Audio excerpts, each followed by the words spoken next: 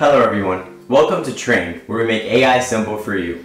My name is Kiran and I'll be your instructor for today. In today's episode, we're going to teach you how to prompt Copilot to perfection so you can maximize its efficiency within your workflow. Before we get into this, all the information we're about to speak about is coming straight from Copilot Lab, which is Microsoft's platform for users to learn more about prompting and the features that can be found in each Microsoft application. Okay, so let's get right into it. Before you become a Copilot expert in the Microsoft suite, you must learn how to prompt. With a great prompt, you will get the most out of Copilot and truly maximize its potential of making you more efficient at work. Microsoft has laid out the formula for a perfect prompt in this visual. So let's walk through it together. The first step of creating a prompt is writing out the goal. This should answer what you exactly want from Copilot.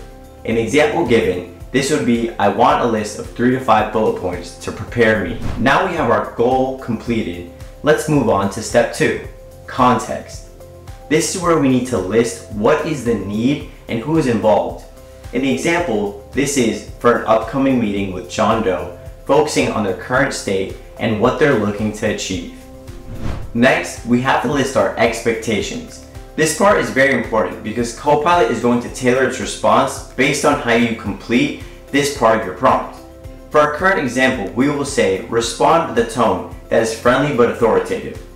Now Copilot knows what I want for my prompt. It can be as helpful as possible for my current situation. We have reached our last step of prompting, listing the source.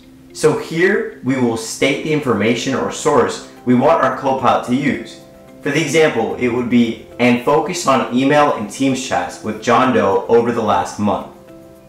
Let's put it all together now, and our prompt is, I want a list of 3 to 5 bullet points to prepare me for an upcoming meeting with John Doe, focusing on their current state and what they're looking to achieve.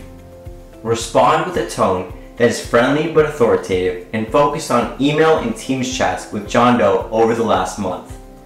This prompt will give us a clear and concise answer now that we utilize all necessary steps to build a strong prompt.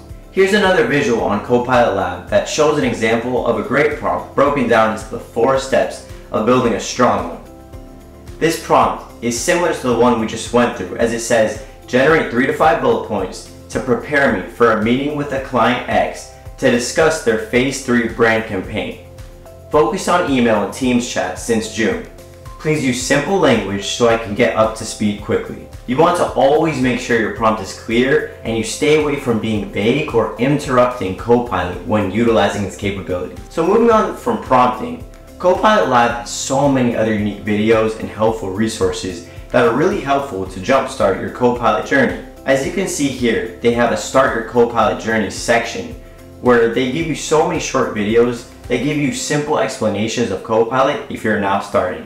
Moving on down this page, they have a Copilot in your everyday app section that can show you examples of how to prompt in the Microsoft suite.